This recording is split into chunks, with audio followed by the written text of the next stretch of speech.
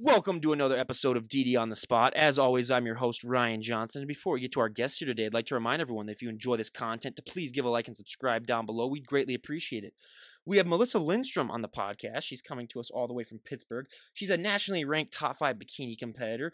She got fifth place at the 2018 North Americans, which is imp- unbelievably impressive. She's also a five time bikini champ, and she's also a two time bikini pro. But most importantly, she's our current guest. Melissa, thank you so much for being on the show. Absolutely. Thanks for having me. Absolutely. So, why don't you give us a little bit of a backstory on what inspired you to make that change and adapt that healthy and fit lifestyle? Yeah, absolutely. So, um, I'm a mom. I have three kids, and my little two are about 15 months apart. So, I kind of had back to back babies.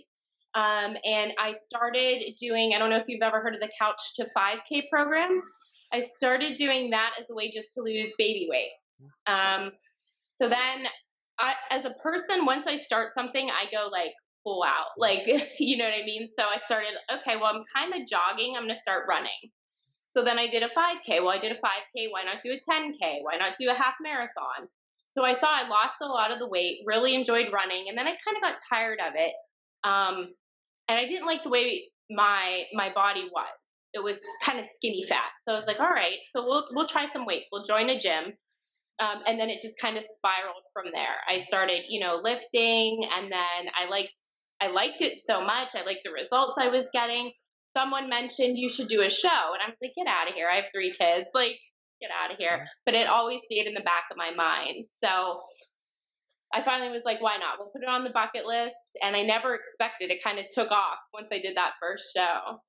That and that's awesome because everyone always yeah. has that different story. And you know, just going from running to, I mean, let's be honest. I mean, if I ran, you know, I've had people on here that are marathon runners, and I was like, okay, I don't know what sort of mental illness you have that makes you want to run 26 right. and a point six miles. I had an ex girlfriend right. who used to do that too, where I was just like, what? I was like, why? She'd be like, oh yeah, I'm going on an eight mile run today, and I was like, like why? Like, what's the point? Yeah. Like, yeah. So yeah, yeah, I'm one of those people where after about 20 minutes of running, I'm just like, I'm bored. Like what? Like, yeah.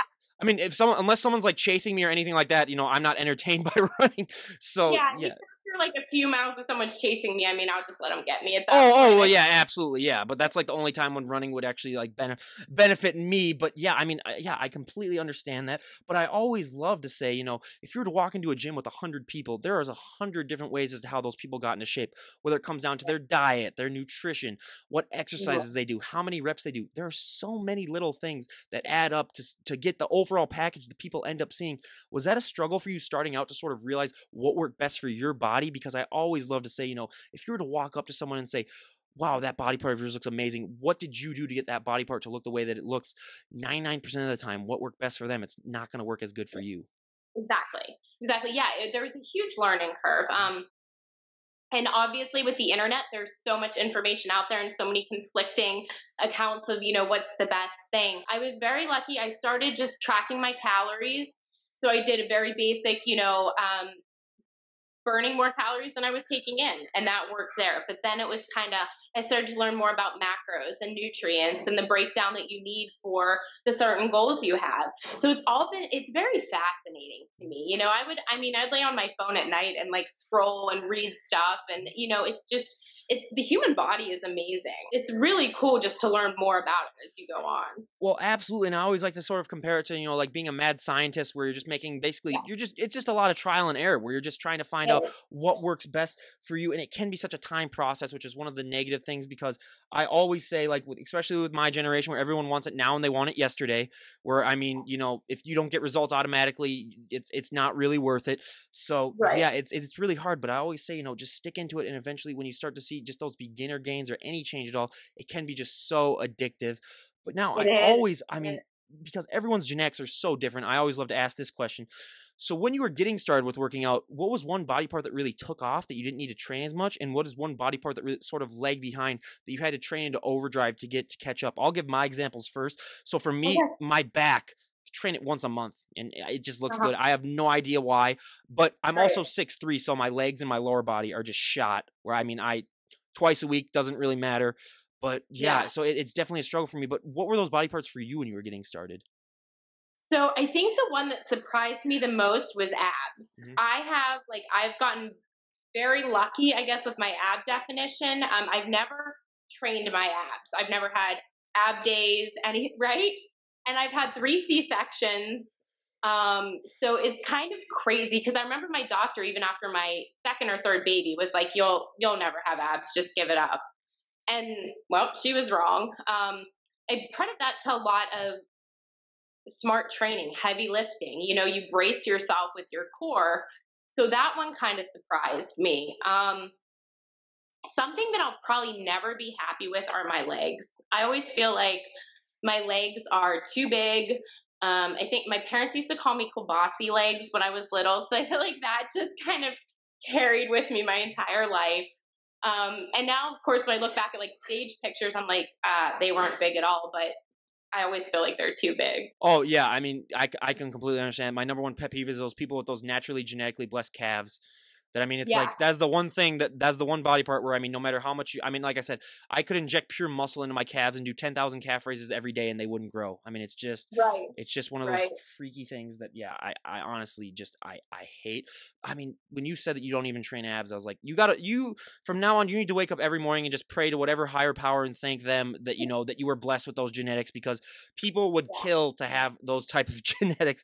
But yeah, well, I mean, weird like before I had kids, mm-hmm. I never had like a six pack or an eight pack. So it really is just lifting.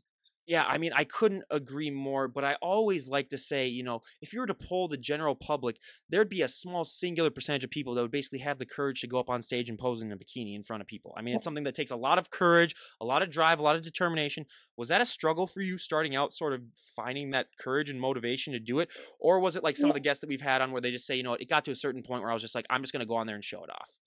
Yeah, I mean, it was a combination. I think it was a very, very big eye opener when my first show, I rented my suit and it came in the mail and I like pulled it out. And it was like this big and I was like, oh, what am I doing here? But I was so proud of how I had looked and I put it on and I was like, well, that's actually not too bad, you know? Um, and then when I got backstage show day, I was just so so excited. All that hard work, that was the culmination. So it, it honestly didn't really phase me. Everybody's back there, you know, in, in very little clothing. Um, so it was just, it didn't really bother me that day, but there was definitely some apprehension leading up to it. Oh yeah, I mean, I, I, I can totally believe that, but I always love to ask as well. I mean, especially with prep, a lot of people. I mean, I tell them just to be able to get into shape to go into a prep takes so much hard work and dedication.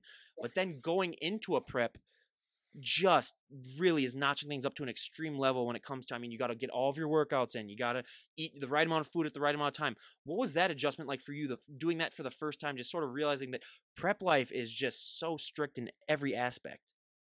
It was. The first time I think I was actually very lucky. I was a stay-at-home mom at that time um, and I believe all my kids were in school. They had just like started school. So I was very, very thankful. I had, you know, I could go do my cardio after I took them to school. I could train, you know, I could get all my meals. And I think I was even taking a nap at that point.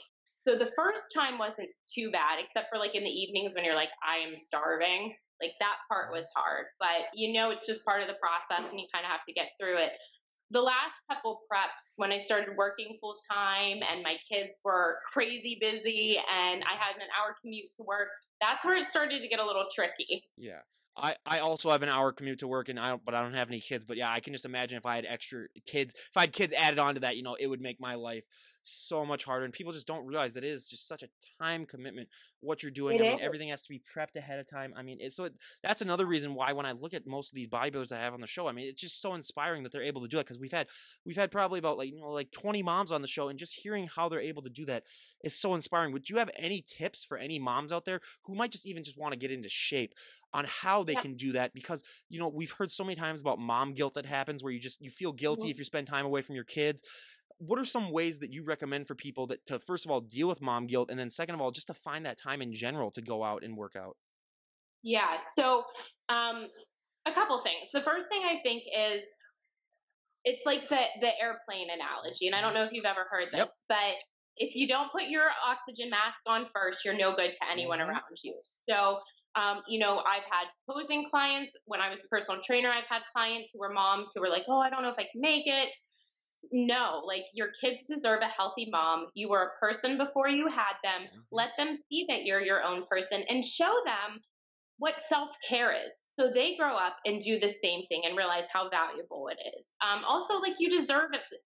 Your kids, I mean, deserve a healthy mom. They deserve a mom that's, you know, teaching them healthy habits, showing them a healthy example, and that's going to be around. So if you look at it from that, you know, viewpoint as opposed to a selfish viewpoint, I think it's it's very, very beneficial. Um, as far as time savers, like honestly, this sport is planning. You have to plan everything. You have to plan what you're eating when, you have to have that food ready. I mean, I have gone through so many preps where um, it was my son's birthday, it was my birthday, it was holidays, and I took my food to Chuck E. Cheese. I baked a cake and didn't have a slice of it. Um, what's that like? Um, and so it's just, it's always thinking ahead, mm-hmm. basically.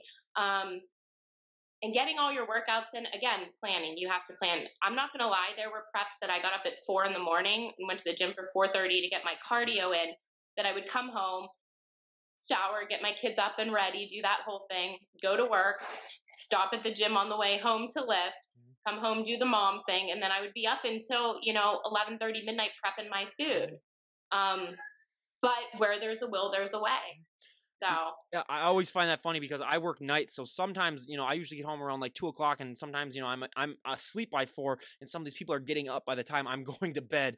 I always just find yeah. that I always just find that so fascinating. But yeah, it, like you said, it sleep is one of those things that you sometimes have to sacrifice. But you know, oddly enough, I had the number one sleep specialist on the planet uh, come on. He came to me all the way from Oxford, and first of all, he had one of those British accents where just talking to him, you felt like you gained like ten IQ points just because he had he had. we're, we're, I was just like, okay, just talk the entire podcast. I'm not going to ask any questions. You can just share yeah. your life story. I'm not going to say anything. I just want to listen to you speak. But yeah, he was awesome. But that's sleep is one of those things that is not brought up enough. I don't think just even on Instagram or on anything because it is the most important thing for recovery. I mean, if you don't get enough sleep, it really does suffer. What is your ideal amount of sleep that you would love to get and what do you tell your hmm. clients who are working out because for I mean, one of the misconceptions that people a lot of people don't realize that when you are working out and getting into shape, you are going to need to get more sleep than you had before you didn't work out just to get that a time to recover. Absolutely. Yeah. And sometimes after a really big workout, like it, it's just a level of exhaustion that you don't ever feel any other day. Mm-hmm. Um, so it, it just shows you how much you need that sleep. Um, I'm very weird. Like I can generally function on about four hours. Um, yeah, which is pretty much the only way I can do that. Is that optimal for muscle recovery? Probably not. no. Um, but it has worked. If I had my way though, I would get about you know, at least six to eight hours, which I actually do um, this time around this off season, this prep. I'm going to make that more of a priority. I'm actually able, I have a, a cardio machine in my house now, so I don't have to drive to the gym. So I've, you know, made some accommodations where um, I don't have to get up that early, thank God, again. yeah. Uh, yeah, I mean, it's it's definitely one of those things where the sleep is so important, and you know, if you can't get enough sleep, just find those times in the day to get some little naps in there too. I mean, that's one yeah. thing that I, that I definitely have to say. But what was your main motivation into competing in bodybuilding? Because I mean, a lot of people they always you know they they might see bodybuilding first and they might be like oh yeah I, i'd never do that but then after a while you know after enough people walk up to him in the gym and say like hey you should really compete that is finally say like hey i'll give this a shot and then they do it and they love it what was your story like with that what really convinced you to get on stage um, it was, you know, there was a lot of encouragement from people that were, um, you know, kind of in the industry and not bodybuilding so much as just like fitness. Mm-hmm. Um, and like I said, it was more of like a bucket list thing. Like I drive a minivan, I have three kids. Why the hell not? Like we'll just throw on a sparkly bikini and go see what happens. I wasn't expecting to love it the way I did. I, I mean, it was honestly pivotal the moment I stepped on stage. It was like I found my passion right there. And then once you have that experience, and my first show was insane. I mean, um, I, li- I literally took everything. I took novice, novice overall, my open class, and then the overall there too. So that was mind blowing. Yeah. Um, and I was like, I, I'm, I love this. I have to do this again, you know? So I mean, it was just, it was kind of a bucket list thing. And then it was like, huh, this is something I really love. So once you find that, you kind of got to keep going with it. Well, I mean, that's my number one point that I love to make in this podcast is just find that one thing in your life that you enjoy so intensely like that, yeah. and just keep going with it. Because I mean, life's so short. You find that one thing and you keep going, and I mean, that's that's one of the keys to happiness. But I mean, I love to ask personally myself because as you can see, I'm one of the palest people you'll ever meet in your entire life. I mean, the sun reflects off of me, and it's not like one of those like sexy vampire Twilight ish things. It's it's not right. like that. Okay, it's one of those things where people are like, oh my god, that's that's really white. But yeah, so I always love to ask because I've never been tan a day in my life. I get a farmer's tan, which let's face it is not a real tan, or I just get burnt to an absolute crisp. So what is that like for you when you put that tan on? Because everyone always talks about, you know, like you see muscles that you never even knew that you had. Everything really seems to pop yeah. out. What is that experience like for you? Well, the first time it's like terrifying. Totally, yeah. Yeah, it's terrifying because you're naked and I never all, like that is the one thing I never realized when I started this podcast, and when I found that, I was like, "Oh, okay, that's weird." But yeah, yeah, that's definitely yeah. Yeah, and it's like um, it's cold. It's so cold too. The spray tan is so freaking cold, and then you have to stand there with um, fans on you to dry. Which so you're standing there just like naked, like so vulnerable and cold, and it's not. You're like, what am I doing? Um, but it is very cool because it gets darker. You get more coats on like the next morning and stuff like that, and it's just man, I mean, you look silly to the average person, but on stage it just pulls everything out. And Protan has a very distinct smell. Like you can walk in like a hotel if there's a show going on and like smell it. You're like, okay, there's Protan around here somewhere. so yeah, that's awesome. And I always gotta say, you know, like you also have to be like a statue though. You can't really move, you can't sit on anything, you can't touch anything. So yeah, that's that's one of the drawbacks. But again, it just shows what these athletes have to go through when they're competing in their shows. But the most surprising thing, by far, for me that I ever learned from doing this podcast is I mean, if if like I said again, if you were to poll the general public, you would never. I don't think that many people would ever guess this, but for a lot of these athletes that we have on, posing is the hardest thing for them. It's harder than their working out. It's harder than the nutrition. I mean, it's something that the general public would never guess. I don't think would be the hardest thing, but it is. I mean, I always like to compare it though to you can be a great driver, you can never be a perfect driver. You can be a great poser, you can never be a perfect poser. It's always something that's ever evolving. What is your experience with what is your experience with posing been like? Was it difficult for you at first, and have you sort of been able to make it easier for yourself, or is it something that you've always struggled with and you just continue to work on? Um, a little of both. I mean, when I started, I, I mean, you know, the heels, the five inch clear heel, and I mean, I seriously felt like I looked like Bambi on ice the first time I put them on. I was clomping around. I didn't know, like, I'm going to make this look sexy. Like, are you kidding? Um, so it was practice. I would wear them around my house, you know what I mean? Just so I got comfortable. So I would you know, get the movements where my legs were fully extended, all of that. Um, so it was a matter of getting comfortable. And then um, it, it honestly is practice. I would go and I would work out, um, and then I would pose for 45 minutes afterwards, um, or nights. You know, I'd put my kids to bed and I would go to the gym in the room where like no one was with the mirrors and, and practice posing. Um, that's one thing you're absolutely correct. It is so important. Like, get a good posing coach. Like, it is huge because they they know what the judges are looking for. They see you from the angle that a judge is going to see you, and as opposed to us, we see ourselves straight on. We can't see ourselves from down. You know where judges sit. So um, it, it's very important, and then just practice. Trust them and practice. Uh, and I mean, I cannot say enough. Also, just what she was saying, getting a posing coach. We've had so many people come on and talk about, you know, like my first show. I, I started posing like two weeks before my first show or whatever, yeah. like that. And it's like, oh well, good luck with that. I mean, we've had we had one person who was just such a genetic freak where they went on stage and they won, even though they had never done posing before. But I was like, okay, you know, I need to see some of your contest photos. And he showed me his, and I was like, yeah, okay, you're just a you're just a freak like that. Where yeah. it's just like you can go on, but yeah, I mean, but I always love to say though too, that guy was the one lucky guy. But if you were to be even the most in shape person on the planet and you didn't know how to pose, you're not going to win. It's because I mean, no, yeah. no one's going to see what your best mm-hmm. angles. They're not going to see it. Absolutely. And you also need to know like um, how to how what your best angles are and mm-hmm. how to get yourself in that position because during comparison rounds, they're moving you around. You're not just going to one place and staying. Yep. You know, so you have to be very aware of who is seeing what and how to make it look awesome, basically. And what made you want to become a posing coach? Was it just that you always wanted to help out others, or what really got you into that process? Uh, I love posing. I think it is just. I mean, it is it is the cherry on top. If you go out there and you can get those judges' eyes on you, um, that's what you want. Basically, you want them looking at you, unable to look away from you. And how do you do that? You can't go out there and just hit a pose and not do anything. You have to have something that draws their eyes to you. And there's so many little nuances and ways you can do that. Um, that I love being able to help other people with that. Like it, it just it pulls all their hard work together. It's just, you know, like I said, the cherry on top of, of a really hard hard cake to bake, basically. Yep. And what would you say, being a posing coach, is the hardest pose to teach your female clients? What is the hardest one that the, that you think women on in general, just for bikini, that they struggle with the most? I mean, I don't know. I think it fluctuates. I think the back pose is always a little awkward. Let's be honest. Um, you know, I've had family members come to my shows, and and my brother was like, "Oh God!" Like my when eyes. you did that. oh God! Yeah. I'm like, I know. I'm sorry. So I think there's also, um, and you can't see your back as much, mm-hmm. so you don't know really what it looks like.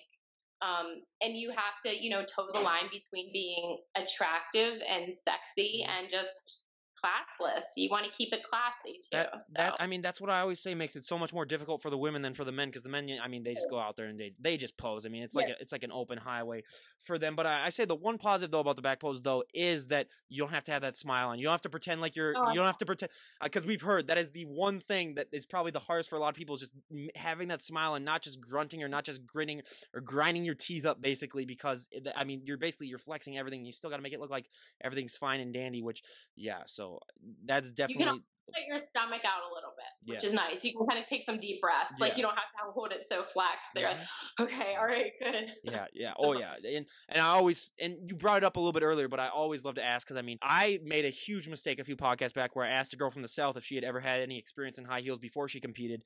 And right as soon as I was asking that, I was like, okay, that was a dumb question. She obviously did. And then she was like, y'all, I'm from the south and I know how to wear. So I was like, okay, I apologize. I should have known ahead of time. I, I was like, yeah, she's from Texas. So I was like, okay.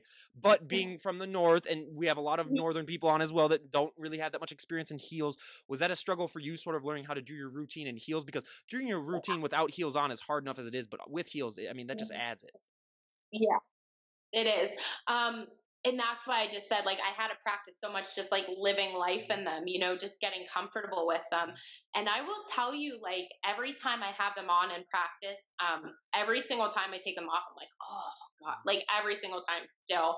Um, and there, I mean, I don't know if other women have told you this, but the day after a show, when you're up there and you're posing, especially if you're out there for call outs and comparisons for a lot, um, I am so sore the next yeah. day because posing, I mean, you have to hold it tight. You have to be still, but you have to hold it, you know what I mean? Your mm-hmm. breath, you're conscious of your breathing. And I just, I'm so sore the next day. So yeah, definitely. I'm not a big heel wearer. Mm-hmm. I'm like a flip flop, slipper, yeah. like sneaker kind of girl. Mm-hmm. So that's definitely eye opening when I put those on. Well, yeah, the amount of times that we've heard people say that as well. That I mean, like posing for them. I mean, it's a workout. You sweat more than you do when you're working out. I mean, it's it's it's really just. I mean, a workout in and of itself. But I always love to ask this question to all my guests. I mean, whether they be bands or bodybuilders, health and fitness professors, or anything.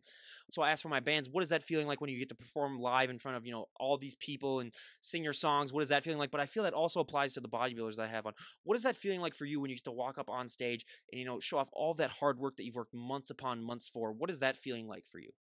It's it's just like it's euphoric. I mean, like I said, it's the culmination of everything. All those early mornings, all those you know meals that you didn't want to eat that you ate, all those times that you passed on pizza and had tilapia. Like it's just like it honestly it feels like that's your moment like that's your moment to shine and you're going to enjoy it because you freaking earned it like that's it so it's cool it is a little intimidating depending obviously on the show um like when I did North Americans, which was it was my first national level show, those lights were insane, like insanely bright. Like I had no idea where my coach was, where my boyfriend was, like where anybody was. I was just like, oh shit, like let's just go do this. So um, that was a little crazy, but you can't let that freak you out. You just got to enjoy the moment. It's pretty awesome. I, I, had so I never did a show or anything, but I have a similar experience, and I've shared this story a couple of times. But I, I think it would be appropriate to share it now again.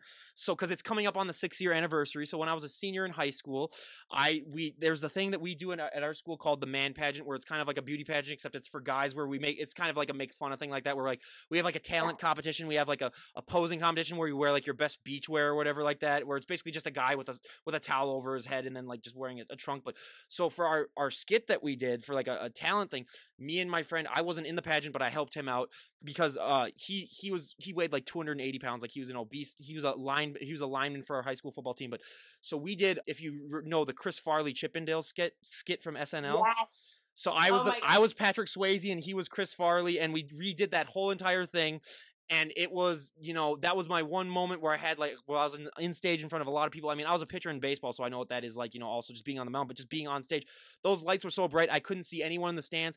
I couldn't hear anyone laughing because I was so into it. So I thought for a second I was like okay is this not funny like are we just making fools of ourselves? Yeah. But then when I saw the replays and everyone was just cracking up and the girls were just laughing their butts off and then I was like okay yeah it was it was worth it. But yeah It So that's- cool. that's my one moment on the stage too, where like, yeah, like before I was going on, like I was shaking all over, and I was like, okay, this has got to be good. And it's like, I mean, I even had to shave my armpits for that because, and it was like, and that was, and that's dedication for me right there. As That a, is dedication. Yeah. you know. So yeah, but yeah, that was that was that was that, that was really really fun. So yeah, that was one of those moments that you know I'll always remember, and that's coming up in like two weeks. It's gonna be like the sixth year anniversary, so I'll probably post that on Instagram just to for my for my podcast just to be like, okay, this was me six years ago. But yeah, that, that definitely brings back memories. That But awesome. yeah. So I always love to ask, you know, for one of the fun questions that I love to ask for the podcast is what is your go to post show meal? Ooh. Do you mean like between prejudging and final? Or E- like either way, or it could be at the very end when you just pig out. Yeah. Oh God. Um I usually don't just do one meal. It's usually like we're gonna stop a few places on the way Yeah. home. But um always the burger and fries, like always. And I'll get the cheese on it, I'll get like the white bun, I'll do all that. Um and then pizza, definitely pizza. And then I have to have some sort of dessert, whether it's like cupcakes or like um danishes, something like that. Um in North Americans, I actually went back to the room. My friends had brought me cupcakes. I ate two of them, and we were going across the street for pizza and wings. And I took a bag of M&Ms with me to walk across the street to eat. So it's kind of just a little bit of everything. I, I always said if I ever competed, I would just rent out a Five Guys for the night and I just tell them, you're making me enough food. Uh, the only time I'm going to stop is if I either pass out, I choke to death, or or I just explode. That's the only way that we're going to stop. I'm just going to say for the whole night, just keep feeding me. I don't care if I throw up or anything. I'm going to keep going. But so yeah, that's that's what I would do. But that also leads me into I think the most important question that I ask in this podcast because I mean I ask it to everyone and it's one of those things that isn't talked about enough on Instagram. I don't think, and it, it's I like to give an example. So I was at a party, a New Year's Eve party, and one of my friends came up to me and said, "You know, hey Ryan, I love watching the podcast." One of the things that I was surprised to know about these competitors because you know you just see their photos of when they're competing is that that look is not sustainable. You're not going to be able to look like that 365 days out of the year. I think when I talk to the average people that I, you know I just talk to on the street or just you know friends that watch the show, they just say, you know, that is fascinating because a lot of the times the public thinks that you know you you're able to look like that 365 days a year. Now, mostly is that's because you know on Instagram, a lot of people just post you know what they look like during the show year round, or they do that. But mm. another thing too is that it's just it, for a lot of people they just aren't able to fathom that all that hard work is a is a look that's not sustainable. Was that a struggle for you when you were getting started? Just sort of realizing that that you know like, hey, I've worked my butt off for these months upon months. I put my body through basically a living hell to get to this final look, and that I am not going to be able to maintain this look. Was that a struggle for you? And how has that has it changed at all over time? Because we have so many guests that come on talk about you know how they get anxious or they get depressed. Has that been a has that been a struggle for you, and how have you sort of adapted to that over time? Yeah, um, absolutely. Because it's it's kind of like you see your body get to this point, and you're like, okay, well, I got it to this point, so it's able to do it, so I should be able to keep it like that. Um, but it, it's not healthy. I mean, you will wreck everything in your body doing that. So um, it, it's a huge.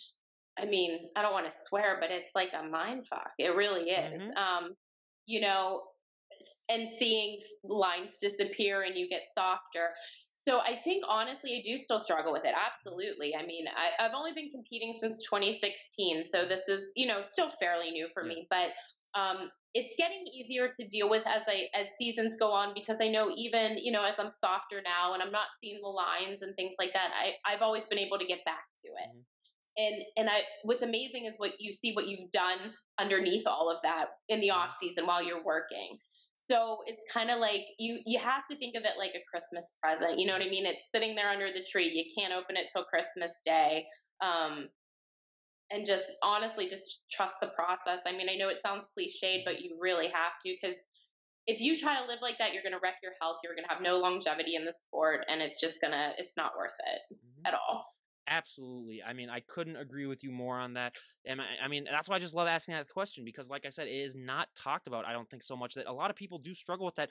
But also, you need to get a coach when you're competing because I've had people that didn't have a coach and then they, they freak out because they didn't know that like you're you're gonna put on weight afterwards. They're like, oh, I thought I could just look like this forever. But yeah, it's so it's definitely one of those struggles. But now I always love to ask these two questions that all of my health and fitness guests. So for the first question, one of the things that I discovered when I was you know working out and going to the gym a lot in college and getting bigger and stronger, there's so many positives.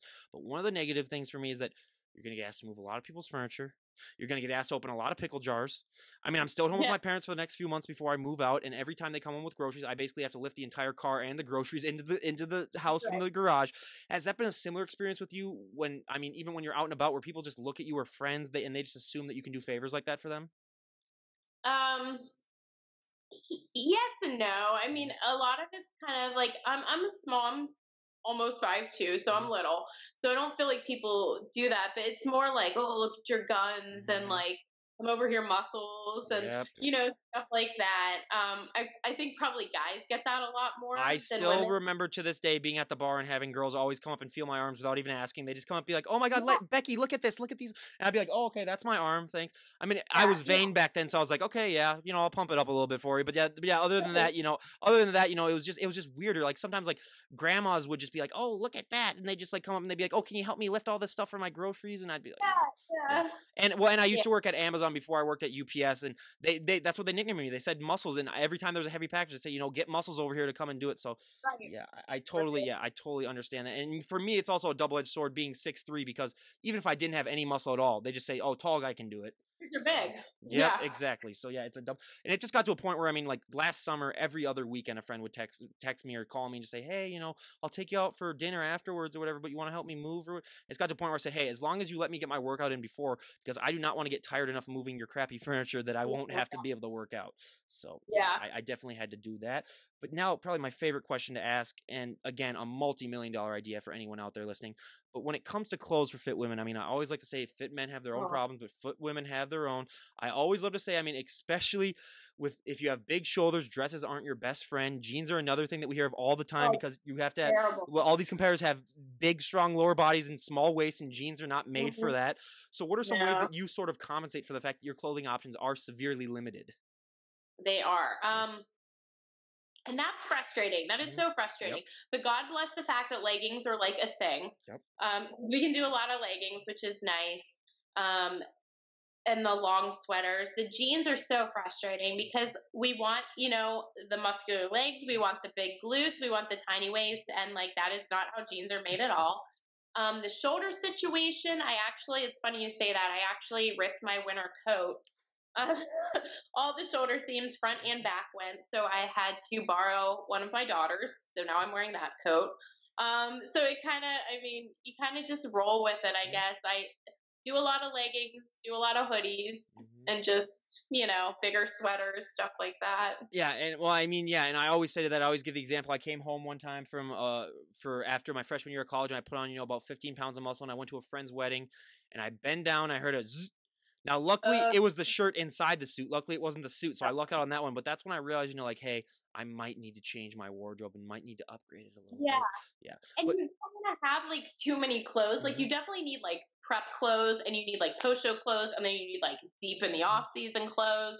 But it's like such a pain to have to keep yeah buying stuff, so you kind of like try to squeeze into those other ones, and it's like, yeah. I mean, cool. I I don't even compete, but I still have two seasons of clothes just because like when you're up in Minnesota and it gets to the like negative thirty degrees, like it did on Wednesday, you know, you you're gonna need to put on some weight. Like I usually put on about like ten to fifteen pounds during the winter just to survive. Because if I was as lean as I get during the summer, you know, you're gonna freeze to death out there walking yeah. out there. So I mean, yeah, it's it's definitely one of those things where if people could just make clothes that like readjusted themselves, kind of like the Back to the Future thing where the clothing dries itself, where you could just make a clothes yeah. that like got a little bit long. Yeah, that would be my go-to. So anyone out there, if you're thinking about inventing that, you know, I, will give you the patent. I can't. I gave you the idea right here, but you can go ahead and do with it what you want. But now I, I always love to ask, you know, the moms and the dads that I have on the show. So, what has your kids' reaction been like to having, you know, a mom that is in better shape than a lot of all the other moms that they have or friends with? Because a lot of times, especially for the female bodybuilders, I mean, it's not such a common thing that sometimes the kids' reactions can be, you know, a little like a little different. Yeah. Um You know, I don't know. I, my oldest is a teenager. She's in high school. Oh, great. Um, yep. Yeah. so I'm I'm always very conscious of what I post online. Um, I was gonna say, yep. Yeah, I mean, uh, Instagram, you know, they it, you know, nudity sells obviously, but I never want my kids to Google me and see a picture of my rear end that's not me on stage. I never want that to happen. Yep. So um, I'm always very conscious of that. Like I'm their mom before anything. That's the most important thing to me. Um, I think they're proud of me. I mean, it's cute when you hear them say stuff like my little one will be like, "Oh, look at that bicep! I think I see a vein," like stuff like that, or Yeah. or they know like, oh, this has a lot of protein in it, you know. And um, one thing that was really cool, you know, is I see my my daughter, my oldest, Mhm. um, reposting stuff like when I do shows, like Yeah. that she's proud of me, or Yeah. you know, like it, it's it's just cool. Like I want to make them proud. That's my whole motivation is I want them to know it's never too late to do anything. If you Mm-hmm. had told me ten years ago that this is what I would be doing and doing well at it, I would have been like, you're nuts.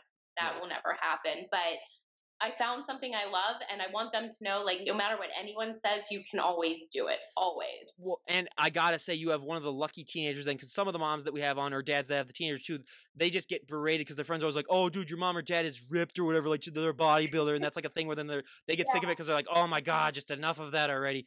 But yeah, it's always Yeah. nice to have, and probably the biggest benefit that I love to say, especially for people that have fit parents, is that I had a health specialist come on and you know talk about the obesity crisis, and he said, you know, one of the biggest things to help curb this is to you know your your parents got to practice and, and they got to give you the lifestyle because that is he said that's the number one thing that helps promote you know a curb to the obesity crisis is the parents that have those healthy lifestyles because then the kids look at that and they realize that you know they can do that and then they just sort of you know subconsciously pick that up because if you force the kids to do it then then they won't normally do it but if you just you know lay it out there and say like hey this is what i'm doing eventually they'll be interested in it and that is the number one thing so again you know parents i mean doing that that's the i mean that is a key to really do that so yeah just portraying that healthy and fitness lifestyle too is just so important especially with the next generation of what's going on and I, I I couldn't I couldn't agree Yeah. with you more on that. But now we go to our audience favorite and my personal favorite part of the podcast, a little questionnaire where we're gonna ask Melissa here about a dozen or so health and fitness questions that we ask all of our guests, sort of a getting to know you. So for our first question, what is your go-to workout song at the moment? So I always feel like I have like one theme, a song for prep. So I feel like the next one is "The Edge of Glory" by Lady Gaga. Mhm. I feel like you know that that's it for some reason. That one speaks to me. But I also like "Oceans to Oceans," which was an Aquaman. It's like a re, it's like a funky remix of "Africa" by Toto, and I Oh, love. Africa. Yep. Oh yeah, that, that that's definitely yeah, that's a great one. I mean, I'm also a sucker for the cheesy '80s music. I mean, I'll have you know like the Rocky Four I do have soundtrack on, which is the cheesiest One of my soundtrack of all time. But yeah, I mean, I have a problem. So I have a gym at home, which I can work out at. So like 75% of the time I work out there. Eh. But when I go to a normal gym, I got to wait for the beat to drop before I do a workout. So like if I'm mm. doing like lat pull downs, I sometimes am standing there for like 30 seconds and I've had people come up to me and be like, hey, are you all right? Did you like pull out a muscle or something like that? Mm. And I'm like, nope, just waiting for the beat to drop. So yeah, I am known throughout my Yeah. gym as the guy that waits for the beat to drop. But you know, hey, hey, I'll take it. But now, out of all the celebrities on the planet, if you could work out with any celebrity, who would it be?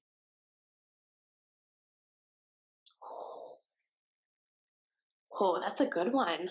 I could work out with any male or female, doesn't matter. Doesn't matter. Um. Oh shit! Who would I work out with? now, um, that's a really good question. I would say, I mean, I always loved Nicole Wilkins. I always thought Oh, she was super badass. Mhm. Um, I would say her.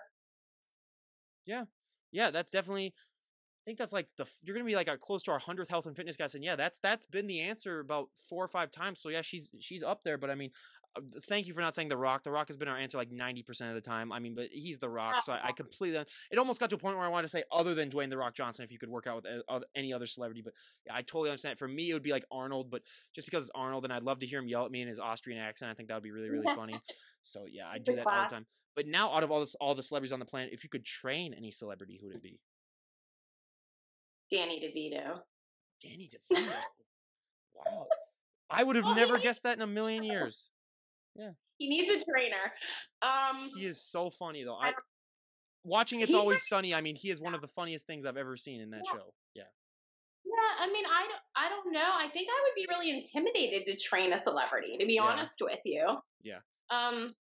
So I really don't know. It would have to be someone who wasn't like in the industry, because I'd be like, I don't know, you go, you're good. you Yeah, know? yeah. Well, I was gonna say like our most popular answer is like Kevin Hart, but with that, I gotta say, you know, if you get a comedian, you're not gonna get a workout in. You're gonna get the best ab workout of all time, but you're not gonna get a Yeah. workout in. I'll get an apple. They're gonna trick. yeah, they're gonna trick you by making you laugh the whole time and not like doing stuff for them. But yeah, I Kevin Hart would be a great one for me as well. But now, what is one item that you always need to have in your fridge? egg whites. Our second most Always popular answer. The most whites. the most surprising answer for me has been mustard. Never would have guessed that in a million years that Oh, some yeah. people have that. I, I have like three variations of mustard in there. Yeah, that, I also have like huge diet pop, diet soda. I don't know what you guys it's call pop it. in the Midwest. It's pop. Yeah, it's Yeah, pop for yeah, us. yeah. So I'm always like, and I don't know, like maybe I shouldn't say this, but even on prep, I drink it. Yeah. So you say soda, you Yeah, get you get kicked out if you say soda where I'm from. there you go. Yeah. Yeah, you don't say that in Yeah, Pittsburgh yeah, either. It's Yeah, yeah, absolutely. Yeah. I, I remember one time when I took a trip to the East Coast and I kept saying, you know, to the waiter, I was like, "Can you get me a pop?" And he's like, "A what?" And I was like, Yeah. What? So yeah, I yeah, Yeah. that's it's it's it's it's definitely one of those things.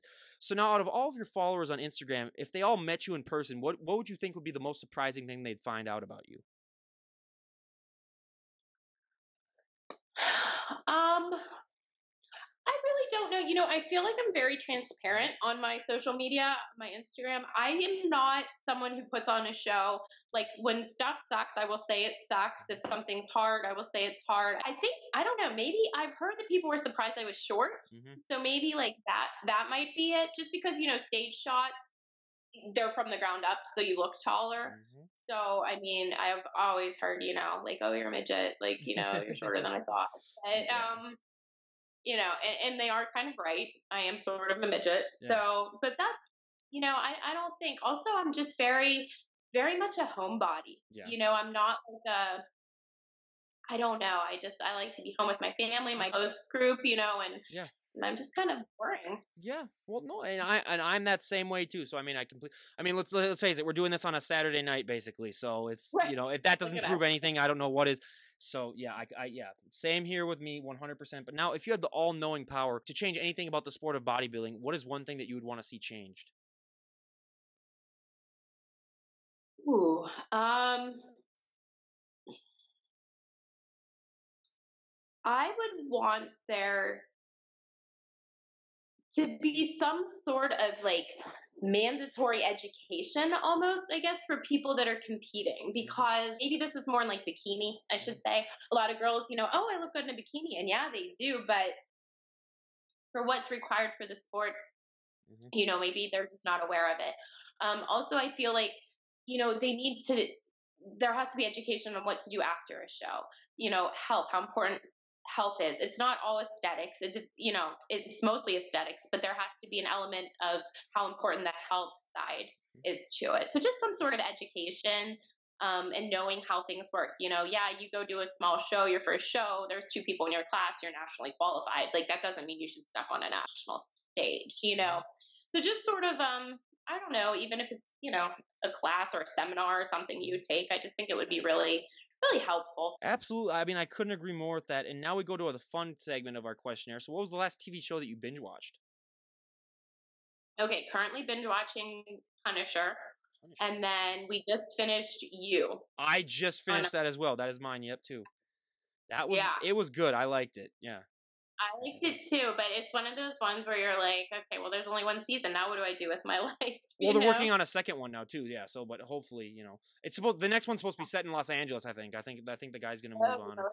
or something like that. But I, w- I was really shocked by the ending. I thought that that thing that happened wasn't going to Yeah. happen. So Yeah, yeah. I didn't sure. see that coming. Yeah, I thought they would drag it on for another season and then have you know, see, yeah. So, but yeah, it was it was it was very very good. But now, what is your favorite TV show of all time?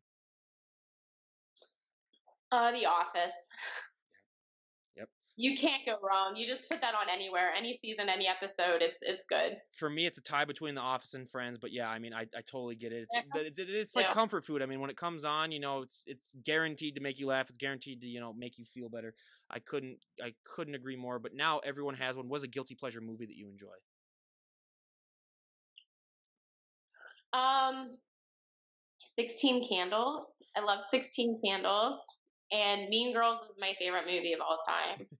16 Candles is a great movie. I love that. I love Anthony Michael Hall's character. He's one of it's one of my favorites. Yeah, I, I, I whenever that's one of those movies where whenever it comes on and I'm not doing anything, you know, I'll watch the whole, I'll watch the whole thing. I'll go through with it. But for me, all my guy friends, you know, close your ears. I'll never admit this in person, but Princess Bride is my is my guilty pleasure movie. You know, I've never seen that. Okay, this day is really starting to make me angry because you're the second podcast and the, the last podcast I'm doing today, and both of us, both of the guests now, I've never seen Princess Bride, so that's you know, so if well, you ever have any free time, I highly, re- if you ever have any free time, I highly, highly recommend you watch it. It's one of those one of those really great movies, and I can guarantee you've heard about 15 quotes from it because all the quotes are just so ingrained in pop culture. Where yeah, if if you watch it, you'd be like, oh, so that's where that line comes from that people say all the time, yeah. or that's so yeah, it's yeah, it it is really one of the great ones. But now we go to our final two questions of the questionnaire. So, what is your favorite fashion trend of all time and least favorite fashion trend of all time? Okay, I love bootcut jeans, and I don't understand why no one will bring them back.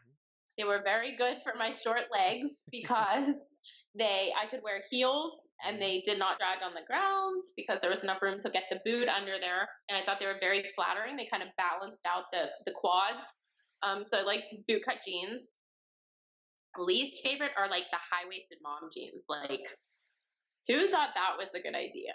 They're terrible. My 16 year old wears them, and like all her friends do, and they can pull them off, but like, no thanks. Yeah. I mean, for mm. me personally, flannel is my go-to just because it gets so cold here, especially during the winter. But my least favorite, mm-hmm. my dad ruined it in the late '90s. But women can rock these, but guys can't fanny packs.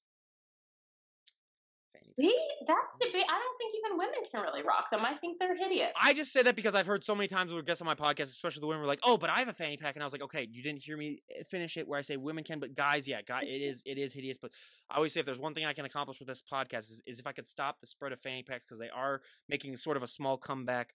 So yeah, get, you got got to get rid of fanny packs. But now my last question of the questionnaire: If you could go back in time and talk to the 18 year old version of yourself, what would be the best piece of advice you would give her?